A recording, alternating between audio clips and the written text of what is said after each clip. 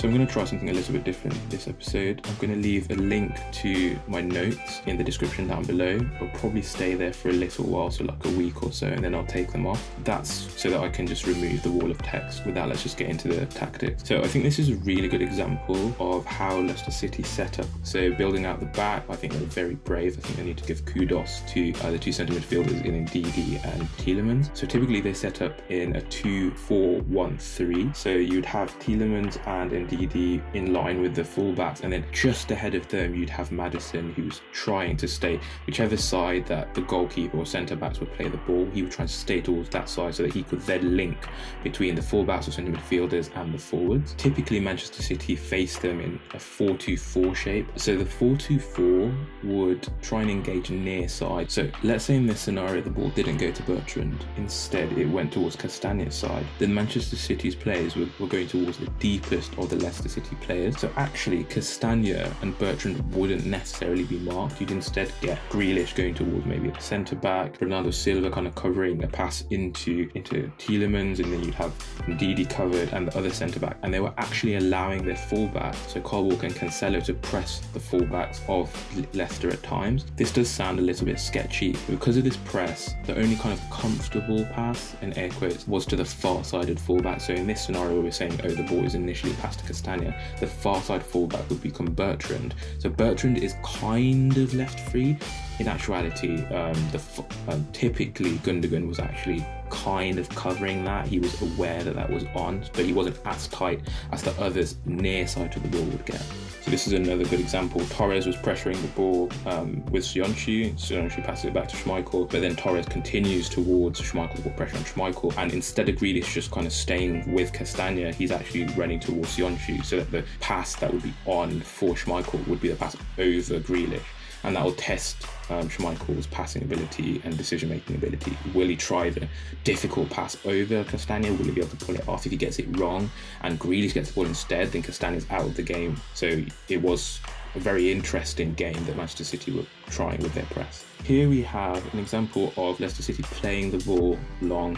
If one of the Leicester City players gets it a little bit wrong, passing out of the back, then Manchester City can collapse in on them, and this is a good example of that. So here, actually, the ball kind of gets turned over a little bit. So Leicester City try the ball over the top towards Bertrand. It doesn't really work out, but luckily for them, Ndidi is able to get his long spindly legs on the end of it, and Bertrand's momentum kind of takes him into that space between the two and the four forwards of Manchester City, and then Ndidi is able to pass the ball into him. This is where Manchester City are able to punish a relatively over enthusiastic pass by Bertrand to Tielemans. So because Manchester City have all these players, you know, high up the pitch, when the ball does turn over here because of the really difficult pass that Bertrand gave to Tielemans, then Bernardo Silva is able to just run straight at the defence. There's no there's no centre midfielders for Leicester to be able to screen. Bertrand tries his best and actually puts quite a bit of pressure on Bernardo Silva, um, and because of this 4-2-4 that Manchester City have. Grealish was actually one of the highest players and he forces Leicester City's defenders, their centre back Söyüncü in this case, to just have to retreat. You don't have the comfort or the option of being able to step out because Grealish will run in behind you. Whereas Grealish was pressing here instead,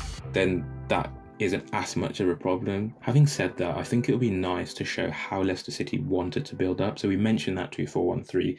In this scenario, we have a throw in. So initially the ball's thrown in, it goes back to Vestergaard, and then he's able to play it into Ndidi. See Tielemans here as well is just kind of sitting a little bit ahead of him. Obviously, both of them providing themselves an option, never shying away from the ball. And Manchester City doing what, Manchester City do, so keeping the pitch very narrow off throw ins. So you can see here, Jack Grealish, super narrow. This is meant to be your left winger, and he's, you know, basically cutting the pitch in half. And every player that Leicester City have really goes to the ball as an option. Manchester City are pressing them really intensely. Despite all the pressure, Leicester City are able to kind of keep a calm head. Ndidi passes it back and they're able to circulate to the far side. Being that Manchester City had cut the pitch and were as narrow as they were, we pointed to where Grealish was. It then meant that you did have space far side, um, and you see Leicester City be able to benefit off that with a little bit more space for them to be able to operate in uh, with Castagne and Albrighton. Eventually, they're able to escape out on the right hand side. So in this scenario, we had Jack Grealish putting pressure onto Söyüncü. Söyüncü passes it back to Schmeichel. So this goes back to what I mentioned earlier about the forwards pressing the centre back, centre midfielders, and kind of leaving the fullbacks to be pressed by players deeper for Manchester City. So because of the pressure that Jack Grealish put onto Söyüncü and then onto the goalkeeper as well, then Schmeichel tries to play it over the Manchester City press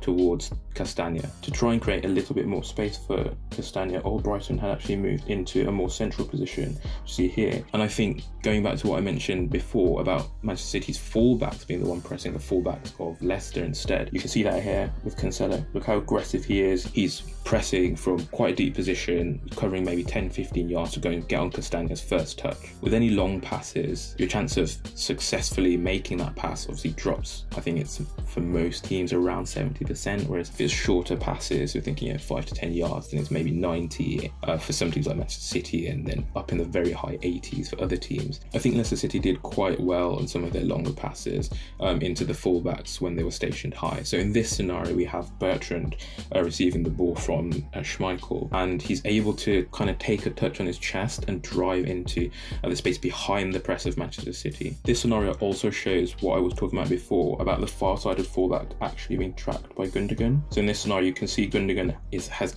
tried to stay or get close to Bertrand. So even when the ball is played to him, the more difficult pass, there's someone there to at least test his touch. And in this case, Bertrand's touch was impeccable. Of course, with any press, there's always the chance that it's beaten, and I think this um, this scenario is a good example of what can happen when Leicester City were able to make that longer pass and beat the press of Manchester City. Leicester weren't just playing these long balls over the top of the press; they also played it through the press at times as well. So in this scenario, you have Söyüncü firing a ball from defence to a forward here, Vardy dropping off the Manchester City defensive line. This was something that they tried to mix into the game as well, whether it was from Söyüncü or the centre back, or also from Tielemans trying to fire into maybe Maddison or um, Harvey Barnes or one of the other forwards. So along with playing it more directly to Iheanacho, Leicester City did go on a lot of counter-attacks or really direct play.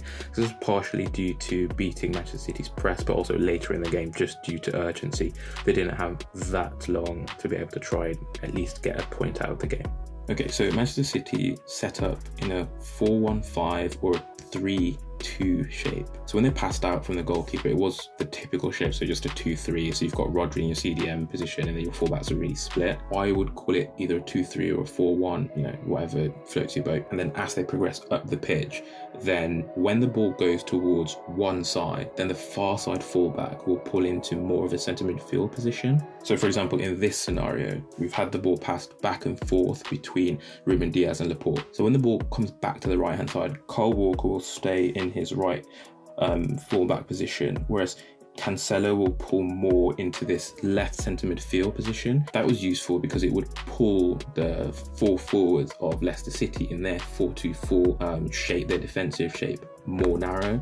So already Leicester City's forwards, they were thinking Harvey Barnes and Albrighton, the wide midfielders, were trying to stay relatively narrow and try and help out um, Tielemans and the strikers and, um, and Ndidi just to kind of lock down that centre of the midfield.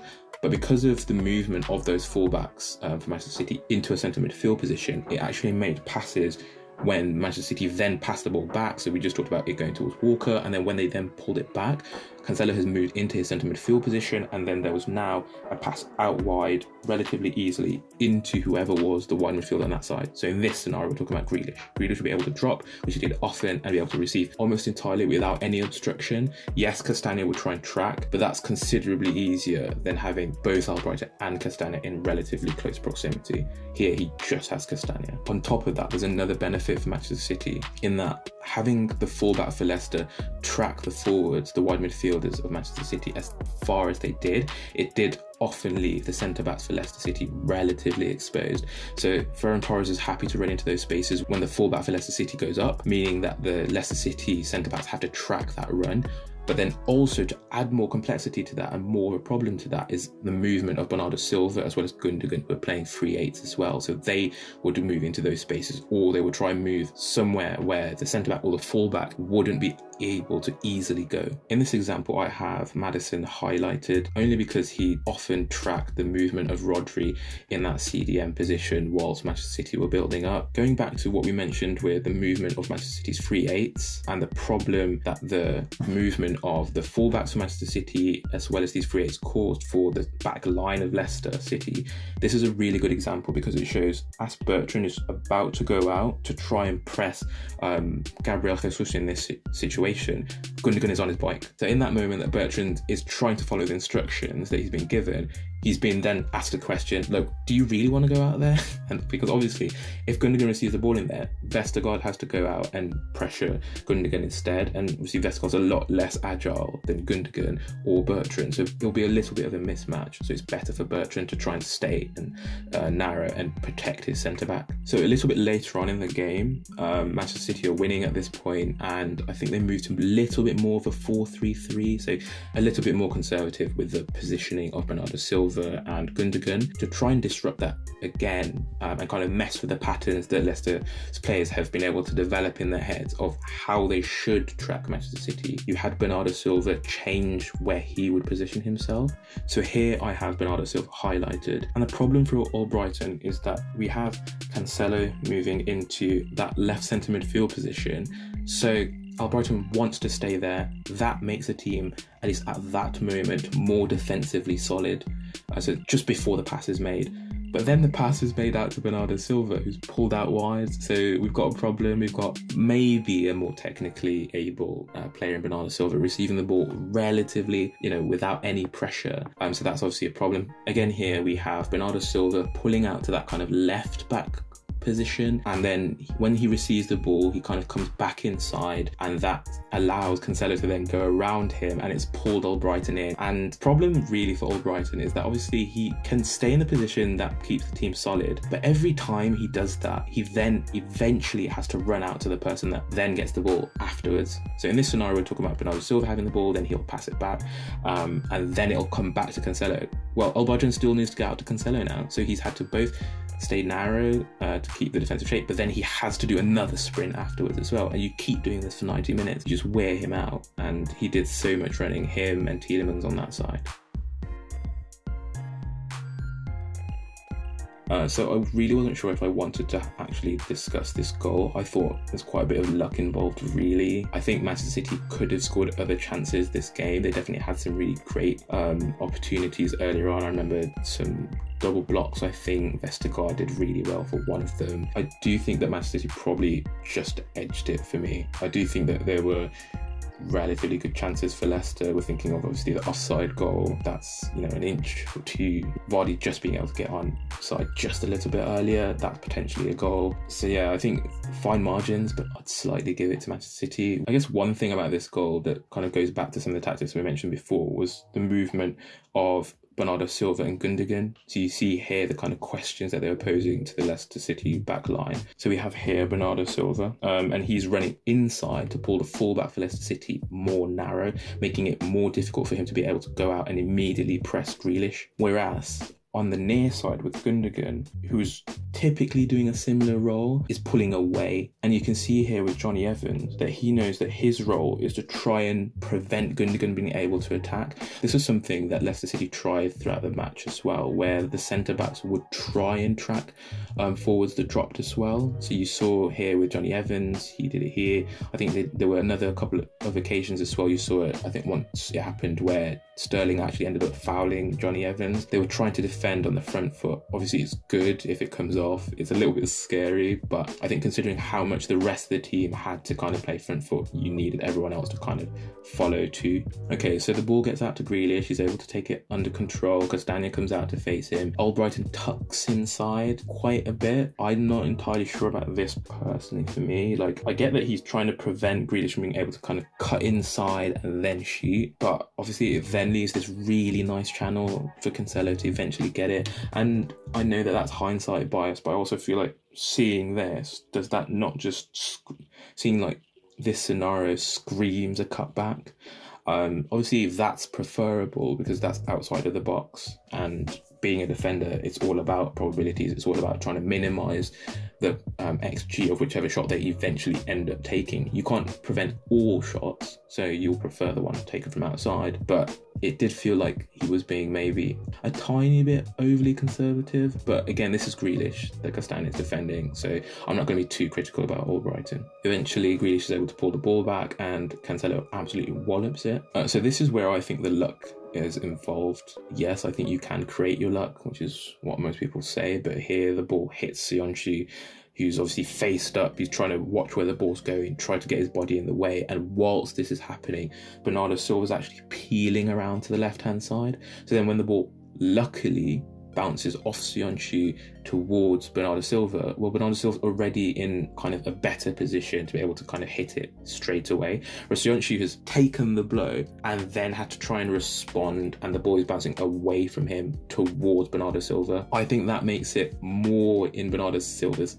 favour that then he's able to get, you know, the shot off. But obviously, good movement by him, but I still think there's luck involved there. It could have just as easily been that Söyüncü, you know, hits it away or it deflects anywhere else and then it's not a goal. So it seems a little bit questionable to say, oh yeah, Bernardo Silva, amazing. Yeah, he totally read this because I don't think he necessarily did. He just did something that he should do, and then if he's fortunate, the ball will bounce to him. Thanks for watching. Um, if you could support us by leaving a like, leaving a comment, maybe saying what match you think we should do next week going forward, what you thought of the match um, and Leicester City's chances, leave in the comments down below. And with that, we're out.